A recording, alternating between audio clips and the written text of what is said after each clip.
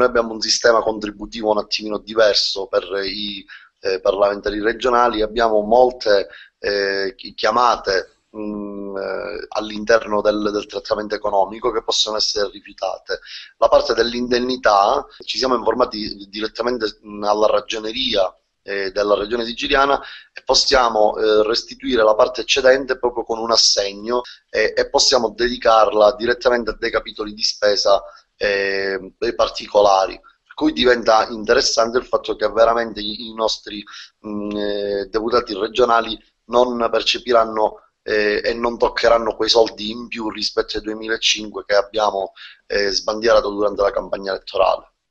Tanto perché stavo rispondendo perché mi arrivano un po' di mail effettivamente eh. relativamente a quello che è stato detto in televisione,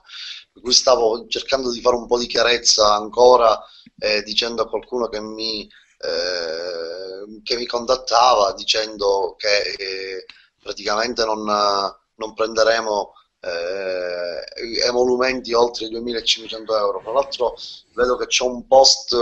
di Nick il Nero che dice che hanno parlato con il funzionario regionale e a quanto pare anche in Regione Emilia-Romagna è possibile tornare indietro i soldi eh, con un assegno. Quindi vi invito in Emilia-Romagna a verificare questa ipotesi perché potrebbe essere la soluzione